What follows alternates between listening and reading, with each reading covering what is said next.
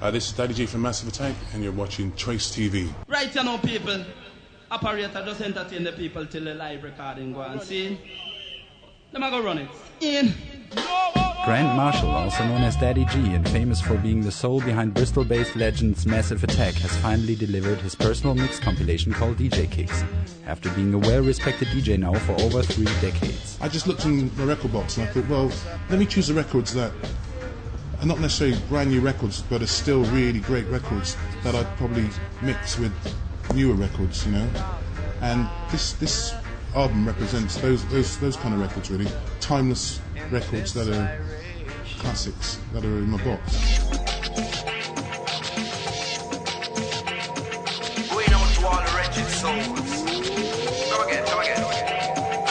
I was trying to pick records that were kind of hard to find.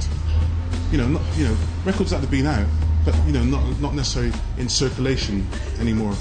And you know things like the you know like Leftfield, for instance, in, Inspection, amazing record. You know, amazing record for the club, but you can't get it.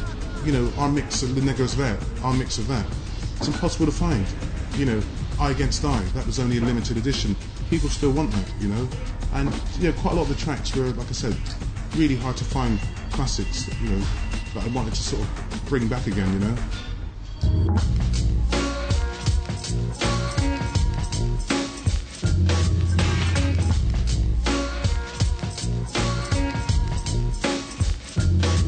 Daddy G's DJ Kick selection even includes long-term Massive Attack buddy Tricky's legendary first solo joint Aftermath. Quite a surprise as rumors go that Tricky's not on speaking terms with his former colleagues. When when Tricky uh, made this record, he was he was still in Bristol, and he was actually handing out white labels of a track that he'd done. It's before he had his deal with um, Fourth and Broadway, you know. And I kind when he gave it to me, I kind of dismissed it because you know it was like Tricky, little Tricky doing a. you know he was he was already in with with the, with the Massive Attack, and he was trying to do something on his own, and it was like, fuck, you know what I mean? But I only realise now what a great record it is, and what you know, tr- you know, Tricky had lots to say really. It was only because you know he was our little baby that we kind of thought you know the baby can't be doing you know his own thing, you know, and uh, he did, and you know, good luck to him.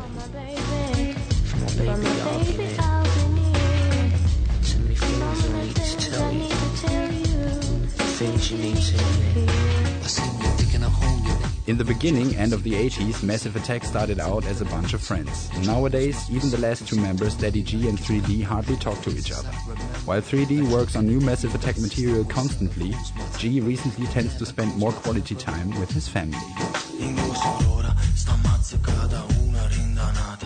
From such a strong sort of nucleus that we had is, uh, you know, from the Wild Bunch in the 80s up to the up to the Massive Attack thing now, that um, you know we've all gone our own separate paths, you know, and, and basically you know we kind of all hate each other, you know, to a certain extent, which is a real negative thing from something that was so positive originally. I know that I've imagined love before and how it could be with you.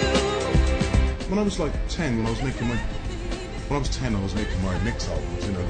You know, I kind of thought to myself, this is what I want to do for the rest of my life, is make music, either DJ or, you know, to make music and live off that. And, you know, I'm 45 now, and so, uh, you know, it's done me good. It's done me really well. So I'm, I'm a happy man I've done, you know, everything I wanted to do. There's loads more to do, I mean, you know, but I, so far so good. And, you know, the fact, you know, what we've achieved with Massive Attack and it's, it's great, you know. And hopefully there's still more to come.